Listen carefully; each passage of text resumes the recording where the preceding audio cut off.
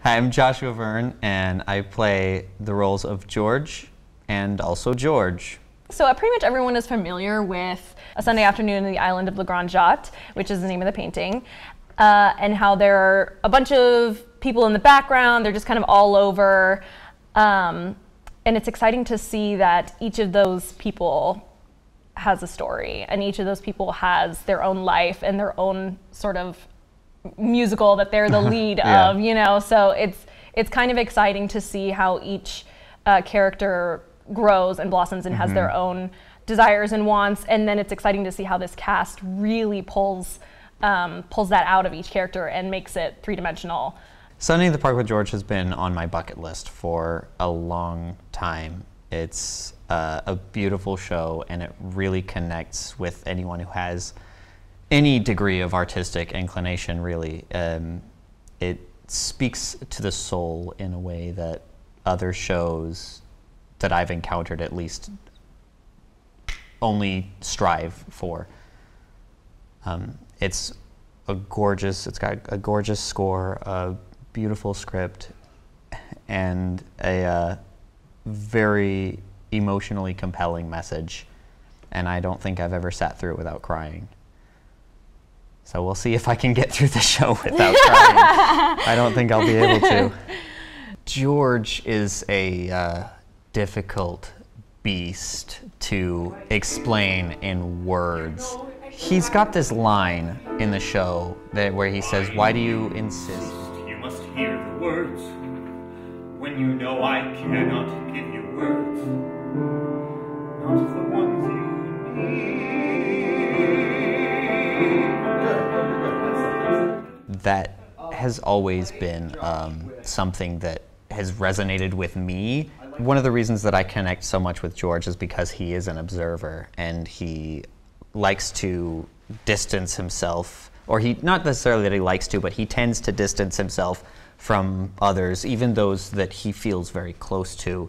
There's still um, there's a kind of a distance there and he watches the world and he watches things happen around him as opposed to actively participating in the world.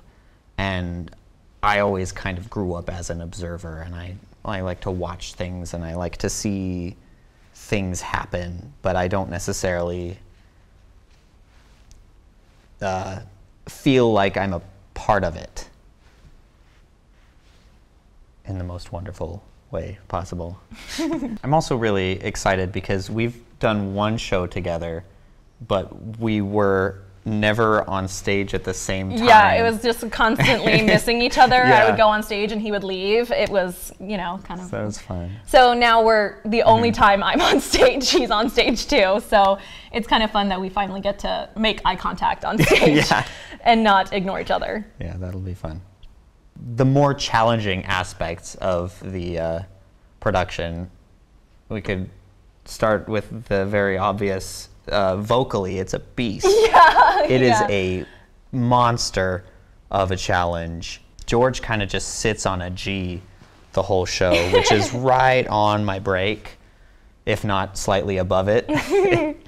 Um, so vocally, it's a huge challenge. But as far as adapting to the characters, there is a, uh, regardless of my personal connection with George, there's a, a very big challenge in taking this very introverted person and um, showing that introversion. It's very hard to show introversion on a stage because everything has to read from, you know, 50, 100 feet back. My favorite moment in the show is uh, less of a moment and more of an entire song, I suppose. But um, there's a, uh, a song at the right at the top of Act Two, which spoiler alert: George Seurat finishes the painting. But right at the top of Act Two, um, there's a, uh, a song with all of the characters in the painting, and they're all just frozen in place.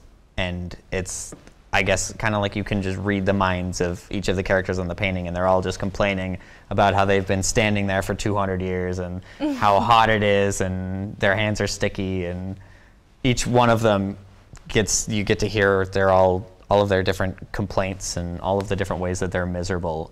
It's wonderful. It's a wonderful uh, little Schadenfreude type of number.